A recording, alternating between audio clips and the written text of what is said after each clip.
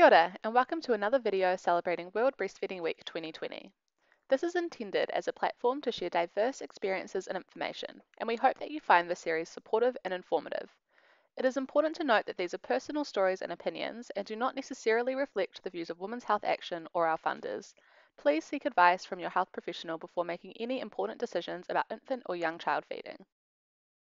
Kia ora everyone and welcome back to another virtual Big Latch On video celebrating World Breastfeeding Week 2020. It's Caitlin here from Women's Health Action and today I'm joined by my lovely friend Lizzie. And Lizzie also works within the space of promoting breastfeeding and as you can see she's also a new mum. So today's video we're going to be chatting about the experiences of breastfeeding within those early days, sort of the first few months of forming a breastfeeding relationship and trying to fit breastfeeding into your daily life. And Lizzie's going to chat with us about that from her own current lived experience. So thank you so much for chatting with us, Lizzie. Do you want to tell us a little bit about yourself? Sure. Um, oh, look, this is what happens when you're zooming in the kitchen. It's a whole family affair. We've got Peter here. Do you want to come up as well, Peter? Kia ora about ourselves. I'm Lizzie, and um, we live here in Stanmore Bay, which is about 45 minutes north of um, Auckland City. And well, depending on traffic. Um, and I'm one of five kids, so I come from a really big family, mostly girls. a lot of a lot of women. There's a lot of um, a lot of female energy in our household, um, and lots of nieces and a few nephews now too. Um, I grew up in Auckland. My mum's whānau from um, Te Tai Tokerau, so she was born in Kaeo and then grew up in Waipapa um, her, she we all on her line we whakapapa to um, Te Ngaere Bay, which is 45 minutes from Kerikeri near Matauri Bay, um, and on my papa's side Te Kao, um, and on my dad's side he's everything Pākehā, so all of those um, all of those countries in the UK essentially. Scottish, Scottish. My papa, uh, dad's dad is English, and um, I think there might be some Welsh in there too, but I don't really know my dad's my dad's whakapapa very well. Um, and yeah, we um, we became parents in May this year. We had a little Gemini baby called uh, Hiwi Tirangi. She was born on the 26th, and so yeah, we're about nine weeks into this new job promotion. nice. And of course, you've been breastfeeding. Yes. Do you want to tell us a little bit about your um, your experiences that you've had so far? Yeah, where do I start? Um, so we had her at home. We had a home birth, and it was really beautiful. I kind of didn't I, I mean, I, I knew from being at my sister's births and stuff that babies quite intuitively knew how to latch on and feed, but it nevertheless was really um, amazing, eh? When she was like 10 minutes out, it was crazy, eh? Like within 10 minutes of her being out, like she just kind of latched on so easily you did, kind of didn't have to teach her. It was more me that needed to be taught. She knew what she was doing. It was me that was struggling, really. Um, but we went to the to a birthing unit after that for some support, and they were really great with breastfeeding. Actually, they were really really good. But nevertheless, I think it was still a few really minor technique issues that made it really really painful and difficult. Like, I mean, I was like bleeding. They were so raw. And when and when my milk came in, I felt like Dolly Parton. My boobs were huge, and um, and it was just really uncomfortable. Like I couldn't even sleep sideways because the pain just from the side of my wrist was so sore. Um, and it really got to the point where I was resenting breastfeeding actually quite recently even um, and I would dread feeding her because it was just so hideous um, and I was really lucky that I had a really supportive midwife that just kind of let me guide the trajectory of that experience rather than kind of impose these rules onto me and mm. ideas onto me. Um, one of the midwives in the birthing unit asked if I wanted to use a shield because she was like, "Your nipples look disgusting. Um, they look bad." So she kind of put, they kind of are like, yeah, like coverings almost. They look like top of a bottle, like you would a breastfeed through a bottle, a feed through a bottle.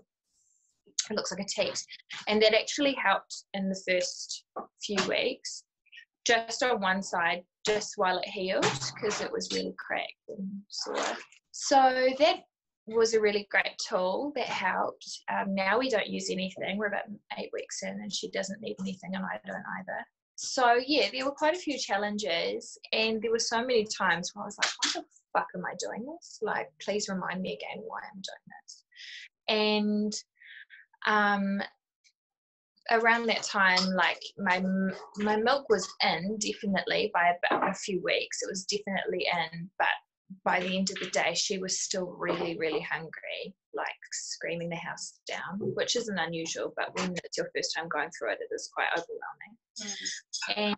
And um, and we got this pump called a Haakaa pump. We went and got it like this, and it's like a manual suction type thing that you put on one of your boobs while you're feeding off the other, and it catches the letdown. And it didn't cost much. It was it's a New Zealand company, and it cost about 30, yeah, 30, 29 bucks. And with all of the letdown um, that it was kept, I used to get about, I don't know, up to 100 mils a day. Probably not that much, maybe, yeah. Um, in that first one or two weeks. And Peter would give her a bottle at night just to kind of top her up and fill her up. Um, and the first night that he did that, she slept for like six hours. I was like, yeah, I was like, shit, hungry. so I every day, but it became really debilitating because you'd wake up, I'd wake up with the stress and anxiety of needing to get enough extra milk to give to her mm-hmm. at night. And just like that mental load of how much will I get, and the more that I stressed about it, I'm sure that I would have produced less because of it. Um, and obviously, as she continued to grow, she continued to need more milk, and I just that doesn't increase your supply at all. It's not an electric pump; it just catches the letdown.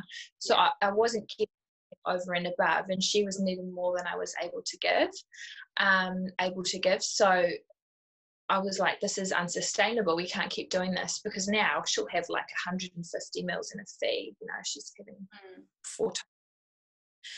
Um, and I went online. I mean, I work in research, so like I knew that there were benefits to breastfeeding, and especially the colostrum. Like I knew that that was quite critical.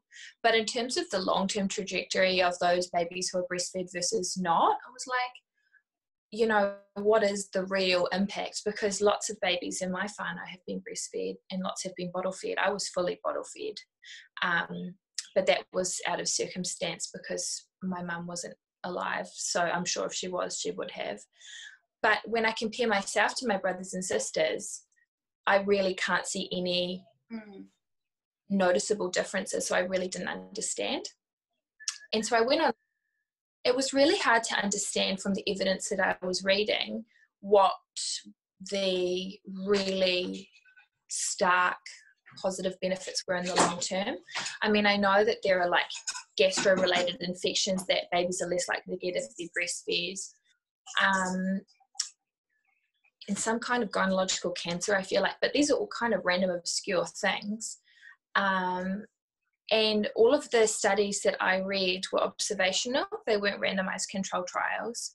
And so from that, I was like, well, this could just be a reflection of the sample because I feel like breastfeeding now has become a marker of privilege, um, and people who are attracted to those studies had more wealth, they had more access to participate in this project. So, as being able to breastfeed and all of those other positive benefits that the study has proposed, a reflection of that wider environmental circumstance rather than the breastfeeding itself. So, really, I mean, I came to the conclusion that I don't even know why, like, what I'm, you know, why am I still in it? Um, and so I said to my midwife, she knew that I was considering formula feeding. And I talked to all of my aunties and stuff about it. And interestingly enough, it was my aunties and my family that pushed for it the most, not my sisters or anything. It was like those a generation above me because how stressed I was, and they all bottle fed, and I'm like, oh, this isn't even worth it. You know, like it's not worth the stress. And so I said midwife, um, you know, she goes, Where are you? What are you thinking now? And I said, I want to give her a bottle at night. I'm just thinking about giving her a bottle of formula because I can't sustain this pumping situation. And she just goes, Oh, good on you. And I was really nervous to tell her actually because I thought, well, she's a midwife. Pushing her breast is best gender on me. Mm. um, and and she wasn't trying to say good on you as if like encouraging it but just kind of encouraging me for making my own decisions really mm. and she goes you would be surprised how many women lie to me when i come over for visits. And they'll i'll be asking you know how's feeding going? And they'll say oh it's going fantastic. It's going great. And she can see formula tins and bottles lining up on the kitchen bench but they're pretending that they're and she goes i can see skeletons. They kind of go, oh, you know, I'm really sorry. I just am finding it really hard. And she goes, you don't have to lie to me, but I can totally see why people lie to midwives. Mm. because really, all throughout being pregnant and up until this point, all the information I've been given is on breastfeeding and how breastfeeding is so great. And it is like now that I've gotten past the pain and the stress and whatever, it's perfectly fine. Like, I really enjoy it now. But I think the fact that we're only given information on how great breastfeeding is negates the experience of those who can't mm. or those who want to. And I mean, I was at a wānanga when I was pregnant, so we went to um, hapu wānanga instead of antenatal classes. And I loved it. The facilitator spent maybe an hour talking about the benefits of breastfeeding. And this wānanga was attended by not only people who are hapu like me, but those who have had babies, so mm. babies up to one with the air, even older. And there was one girl who I've, I'm now friends with who had a baby that would have been about six months at the time, and she was making formula for him, bottles of formula when he needed it. And I remember thinking, wow, this girl is so strong for like sitting through this conversation where all we're being told is why you have to breastfeed and why it's so much better. And I didn't know what her experience was and why she was bottle feeding. But, um, you know, I remember thinking she must be so tough to kind of withstand this conversation without kind of letting it get to her because I think there's a lot of guilt around breastfeeding versus bottle feeding.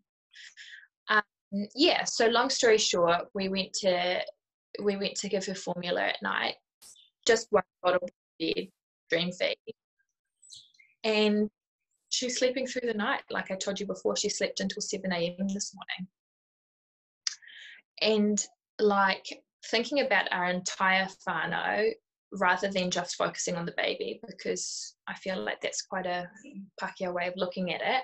Looking at our entire whānau in terms of the breastfeeding experience, giving her formula has meant that we're sleeping longer and we are so much happier because of it. And I feel like we're such better parents than we would be if I was up every three hours feeding her breast milk. Um, yeah, so we've been mixed feeding for about a month now and it's going really well, really, really well. I do think, though, I was talking to some friends about this recently who have kids and are Māori like us, there is a lot more expectation on Māori women to breastfeed. Mm. And I didn't realize really until I've been in it. But those who push for it the most were Māori. Peter, my partner, I mean, he can share his experience with you, but um, but a lot of wives, the like whānau, wānanga facilitators, the lactation consultants I know that are Māori, they are all so pro breast and that's cool, but like the reality of Māori women breastfeeding is so much more than just wanting to be able to do it. So many of us, because we have to go back to work within a few weeks of having a baby. I mean, I was telling you about my boss. She's incredible and she's got five kids. She just had twins and she went back to work. I mean, I feel like she doesn't stop working, but like for someone like her who's raising kids while working, those realities must be so different to someone like me who is able to have the choice of being at home or not. Um, so yeah, I feel like what we really, what I really would have appreciated was different stories about breastfeeding from those who are mar- of feeding, sorry, not just breastfeeding, but different trajectories and realities of those who are Māori feeding their babies because um, I think normalizing whatever works for you is mm. positive. Yeah and being able to see yourself through those stories is also really positive. Mm. I think it's kind of removing the binary of it's either fully breastfed or you failed, you know? It's, yeah. And also, it's like, I feel like now, because I give her formula before, Peter gives her formula before bed, the likelihood of me being able to continue feed breastfeeding and breastfeeding for longer, even though it's mixed, is probably going to happen. Like I'll probably end up breastfeeding her for longer because it feels much more sustainable than feeding her every three hours. Yeah, I think that's something that's been coming out a lot from these interviews is that there's no one right way to feed. Everybody's been able to build it into their life in different and valid ways. Yeah, yeah, exactly. And I do think though that no matter when I stop breastfeeding, I'm probably still going to feel really bad, and I don't know why. Like even if I were to stopped within a few weeks or a year or however long, I I don't know why, but I just can imagine it'll. That's something I have to deal with when. Okay, so we've got Peter, who's Lizzie's partner, and he's going to share a little bit from his perspective around breastfeeding so I think like over that first kind of first few days, there's not really much that you can do as a partner, um, besides take baby away and let Lizzie, mum, sleep.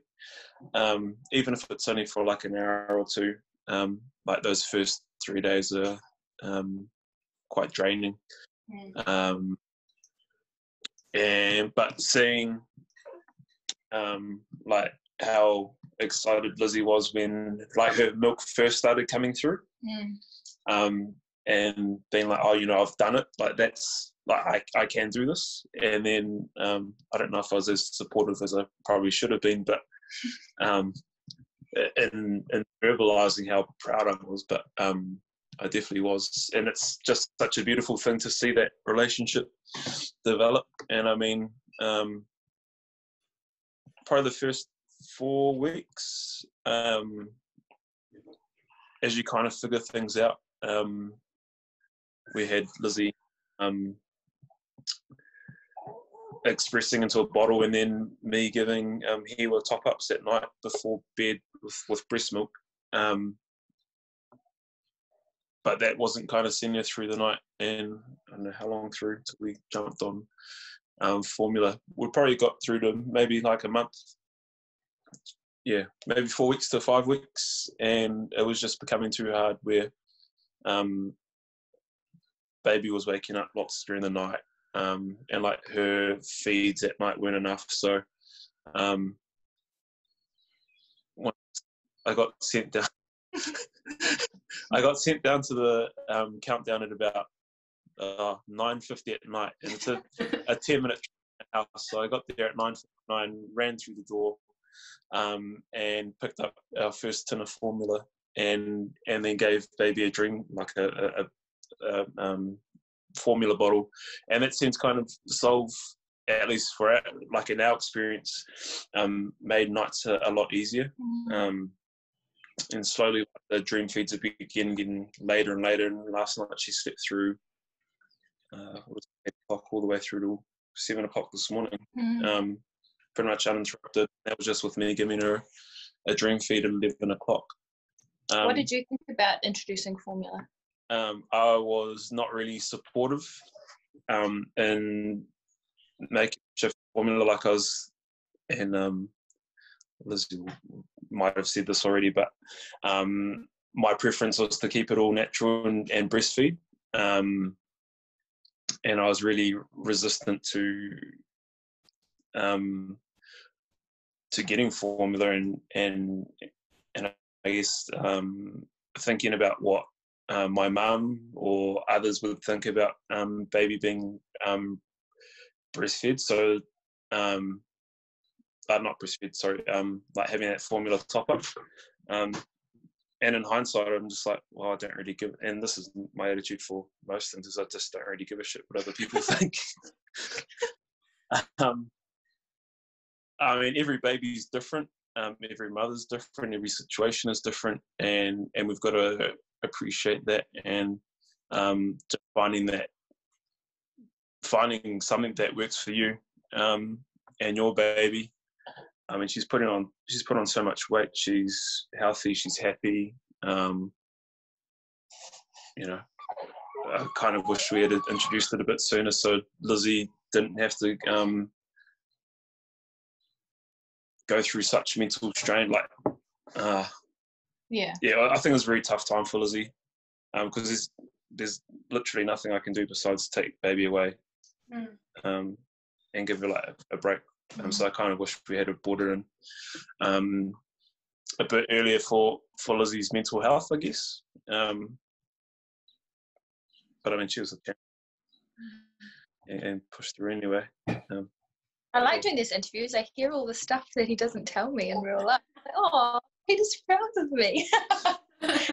like my, well, not my favorite thing, but my favorite thing to do with her was like pick her up when she's first in the morning, uh, like first thing in the morning when she's happy, and then just bring her into bed with me and have a cuddle. But um, like that second um, slot that allows me to um, get like a nice bond with her. That south thing is is giving her those dream feeds. So that yeah. time when she um, when I give her the bottle, like I'm that's our time together and um, like something that we get to do and um, you know it's 11 o'clock 10 11 o'clock at night and she's asleep but it's just a nice time because it's quiet it's just you two um, yeah and i mean like that's time times that i really cherish mm. um, yeah like as guys we don't really get to see is that male perspective on like what role we play yeah, yeah. Um, like besides breadwinner. Mm. Um, yeah. I'm just trying to think about like the only people that I really got to talk to about that were was like one of my mates and how many kids is now? Three. Mm. Um, but for like new fathers that might not necessarily have that friend that's had kids already. Kids already. Yeah, what does that support anyway. look like when you don't really know or you don't really have anyone to talk about it with? Yeah, head out. Yeah, yeah. Thank you so much. it's going well now. And I mean, as infuriating as it was hearing from my friends, I promised it'll get easier. I promised to get easier. I was just like, fuck off. Because I, I just really thought I'm it's going to be like this forever. Mm. Um, and gotten easier, but that's only because I had access to help. Like I ended up seeing a lactation consultant for Plunket, um, who helped with kind of technique. And I think it was that in combination with my boobs just toughening up.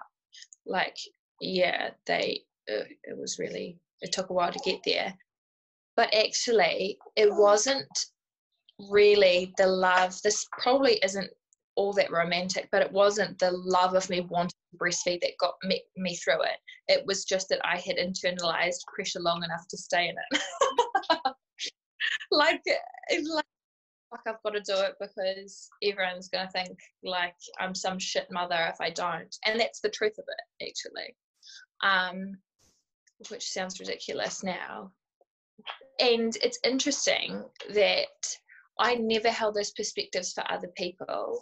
I mean, I've got lots of friends that bottle fed. My cousins, I didn't even think about it really when they had bottles.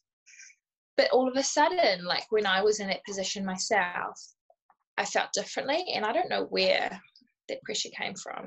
Um, but yeah.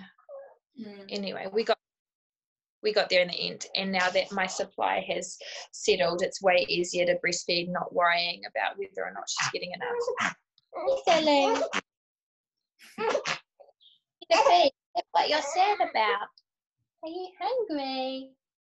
Should I show you guys my beautiful child before we finish out? oh. You're on bed. Look at the chin. oh, I'm sorry. We shouldn't objectify our children. yeah, I'm really happy to hear that you managed to get there in the end and now you're happy with how things going. Yeah. Yeah, but still acknowledging that it, it is challenging and yeah, that's just the reality that you've experienced. Yes. Yeah. And also to whoever's listening that's feeling like you know, I don't know what to do. I think inside yourself, you know what to do. It's just about like finding support to go down that path. Yeah. Just be strong and whatever you decide. Cool. Thank you so much for talking with us, Lizzie. I think you might need All to. good. he will want some attention now. okay. Yeah, thank you. This was really helpful. All good. Cool. Okay, bye.